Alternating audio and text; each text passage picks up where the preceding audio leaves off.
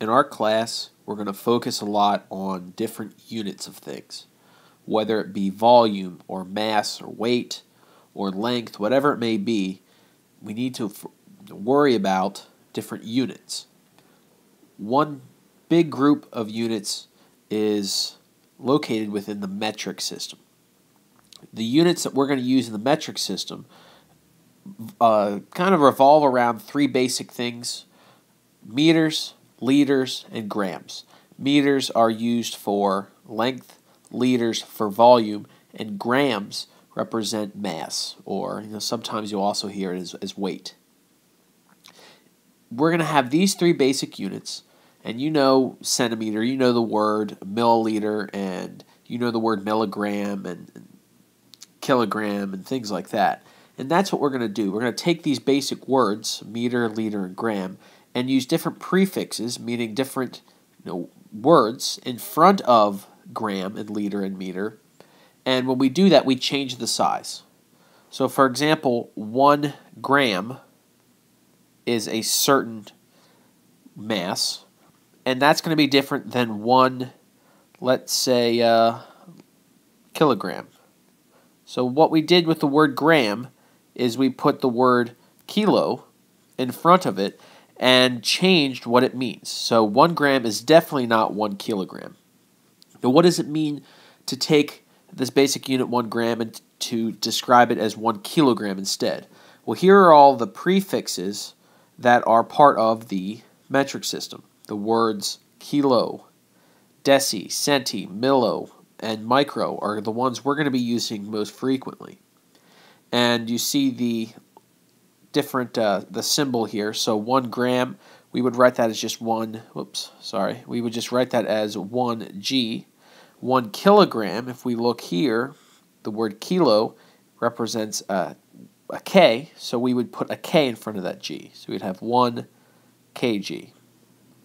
Okay, so this is the unit that we want to abbreviate at the end. Now, what does it mean to talk about one kilo? If we put the word kilo how does that relate to the original gram? Well, over here we have a multiplier. In other words, if we have the word kilo in front of the gram, we're talking about 1,000, or 10 to the third, we're talking about 1,000 grams. So this column to the far right here represents the amount of the basic unit.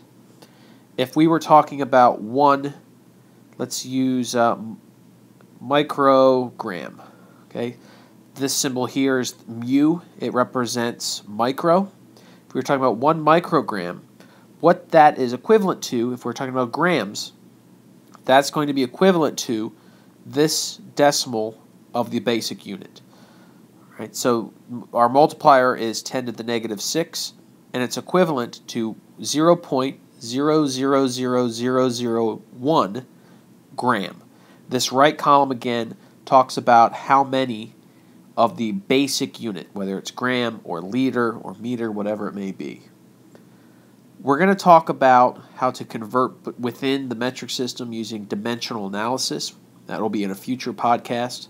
But I want to be able to convert, let's say, if I say we have five centi- centimeters, what is that in uh, millimeters? Or if we had 2 million micrograms, what's that in regular grams. And we can do that using dimensional analysis, but we can also convert between different units using a, a chart. So let's go to the next page and figure out how we can figure out the charts. Here's an example where you're asked to convert 153 milliliters to liters. In other words, if we had a container that had 153 milliliters, this is volume, of, let's say, hydrogen peroxide. And we wanted to know 150 milliliters, how is that related to, or how many total liters is that? We know they're related because they have the same unit, liters. But when we have this word milli, we know that's a certain number of, of liters. So one way that you can do this is use this chart that you were given in your notes that I created and you can see the different multiplier effect. We start in the middle, that's the basic unit, liter or gram or meter, whatever it may be. And then as we go to the right, that those are the smaller amounts. So over here we have microgram or microliter. Here we have milli, and we have a key down here just in case you uh, are unsure of what these symbols what represent. The ones that you should be familiar with that you're going to use quite frequently, uh, kilo for kilogram, that's going to be used quite frequently.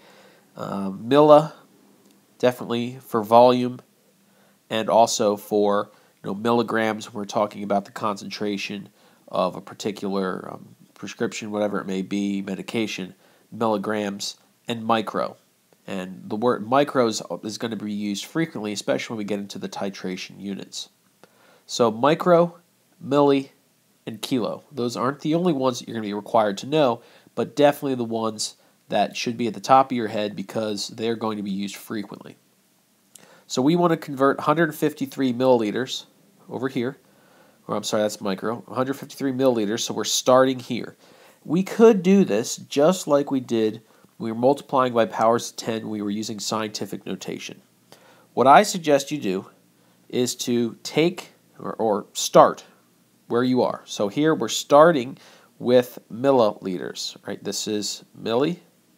So we're going to start right here. And we're going to end, let me just write the word start right there. We're starting here, and we're ending at liters, which is just the basic unit of liters. So we want to end at this unit right here.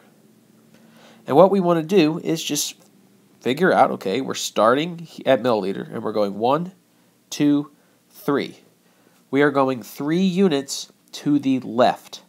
This is going to be equivalent to moving three units to the left. In other words, move the decimal point three units to the left. So our number was 153. And we know that our decimal point really is right there, right? 153.0 is equivalent in the sense that 153 and 153.0, not necessarily with significant figures, but they are the same amount. We know that using our chart to go from milli to the basic unit, we have to go one, two, three steps to the left. So that's what our decimal point is going to move. One, two, three. So our solution will be 1 153 thousandths, in other words, 0.153 liters. That would be our solution. Let's do another quick one.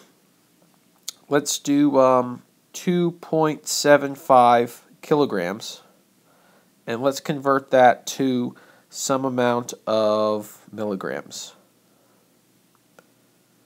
So we're starting here at kilograms, right? This is our starting point. So I'll just make a marking here. And we're ending over here at milligrams. So we're moving one, two, three, four, five, six to the right. So that's how the decimal point should move. 2.75. We're going to move it one, two, three, four, five, six. Then we can go back and put in our zeros.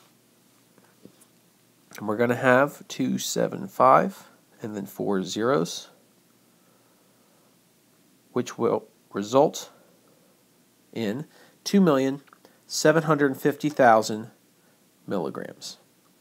Again, this chart can help you by circling the starting point, circling the ending point, and determining how many spaces we're going either to the left or to the right. From beginning to end, where is the line moving? and that's going to tell you how the decimal point will move. Obviously, in order to do this on a quiz or on a test, you would have to set up a basic chart like this. The ones that you'll have to know for sure are the basic unit is in the middle.